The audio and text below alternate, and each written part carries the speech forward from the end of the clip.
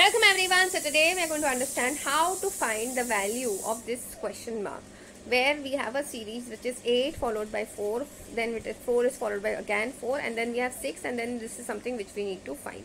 Now in this case it's very very obvious. See here the difference is of 4 here the difference is of 1 then again there is a difference of what uh, so there is a difference of 2 but now the problem over here is the difference is plus 4 plus 1 and then minus 2 so obviously this is not going to make any sense. So maybe this is not the right way of doing things.